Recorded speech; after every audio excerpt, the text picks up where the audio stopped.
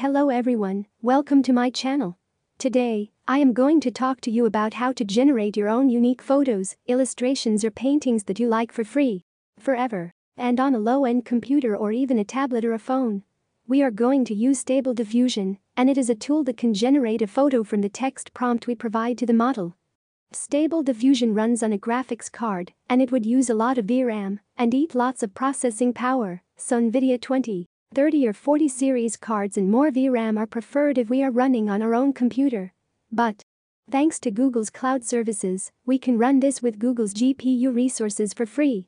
So, let's start now. First of all, we need to set up a Google account.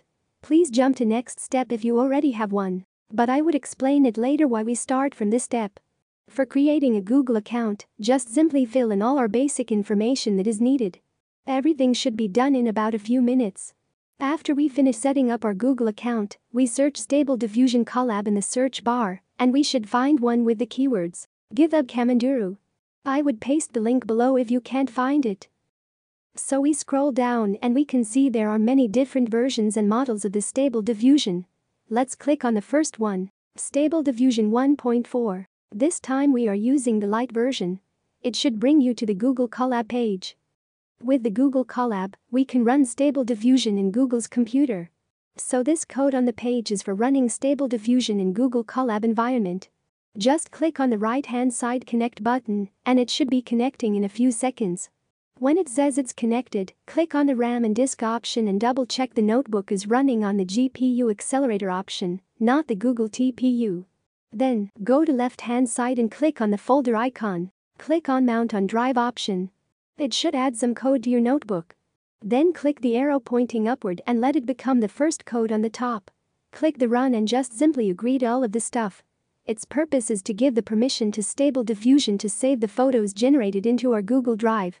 We need to run this code every time because when you finish using Google's Colab, they will delete the data every time. So saving on the drive would be much more convenient and you wouldn't lose any progress. We should see it is mounted at Content Drive after the first code is successfully run. Then, run the Stable Diffusion code and wait for it. It should be setting up the environment for the Stable Diffusion running in the Google Virtual Machine. While we are waiting for it to set up, we can go to Google Drive and create a new folder called AI. You may also name other names as you like. The folder is for saving the photos from the Stable Diffusion AI. After creating the new folder, we can go back to the Colab page to take a look if it is done or not. Now we can see from the left-hand side. We can see Drive, My Drive, and inside there is the folder called AI. We can actually click the three dots on its right and copy path, then add a text to the notebook and paste it there, or you can type in the name as I did. Remember to add a slash at the end. In the meantime, we can click File and save a copy in the drive it would create a copy in the Google Drive under a new folder called Colab Notebooks. With the copy created, next time you want to use Stable Diffusion, just click on the file created in the drive and it will bring you to the Google Colab page and we can start the Stable Diffusion program and generate photos again. Now, go back to the Colab page that is running, we can see that it is nearly done. When it is successfully set up, we should find there are two to three links that it provides to us, click one of them which have the word public in the same line. Finally, we can see the interface for the stable diffusion.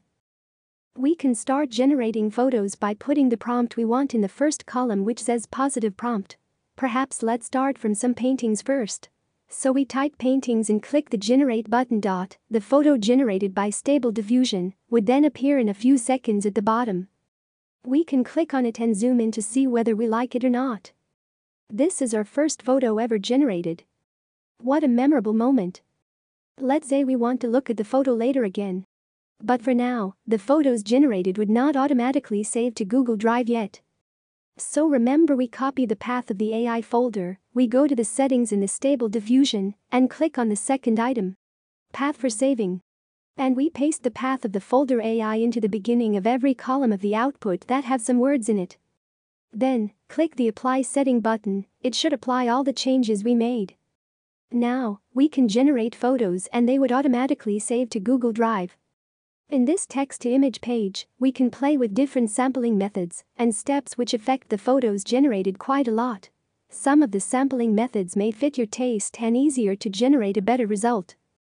They are usually in pair with the sampling steps. But let's stay on 20 steps for now. Under the sampling method, there is the width and height we can adjust. We can adjust the two settings as we like, but lower is always recommended because we can always upscale the photo two times, three times into a high resolution that we like. And higher means more time to generate each photo. We can try both on 1024 for now. And the batch count means how many photos the stable diffusion would generate for you each time you click the generate button. Let's change it into 4 for now. And the CFG scale is the creativity value of the stable diffusion. When it's equal to 0, it would generate a photo that has no relations with the prompt you type. And when it's equal to maximum value 30, it would only generate what you told it to. In my experience, keeping the value from 7 to 8 would keep some level of creativity for stable diffusion and tends to have a good result. As we see this time having 1024 in resolution, the generating time adds up quite a lot we can always try with different combinations and see which one fits the best for you. After a long time waiting for it, we can see the photos are already saved in Google Drive, and we are not afraid that our photos would be lost. And we can view them anytime, anywhere we like in the future. One last thing but the most important thing to say before this video ends. After you use the Stable Diffusion in Google Colab for quite some time, it pops out a message saying that you are out of GPU usage. It means that you have used all free Google GPU resources at the moment and they want you to purchase their products of this service. With this message appearing, we need to wait for about 12 to 24 hours and Google will distribute some free usage hours to us again. But this tutorial is to teach you how to use it for free. And if you are clever enough, you have got the solution already. Oh. Okay, so the solution is to go back to the first step that I mentioned. And repeat all the steps again and you can generate photos again. Hooray! So, that's all for the basic setting up of the stable diffusion in Google Colab and how to use it to generate photos and save them into Google Drive automatically. Sadly that we have to change the path for saving every time because Google won't keep our data every time we finish using Google Colab.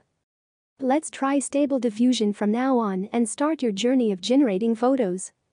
If you find this video helps you, don't forget to subscribe to the channel, click the bell icon, give a like, and leave your comment of how you find Stable Diffusion goes. We would have more tutorials about more interesting stuff and tell you soon.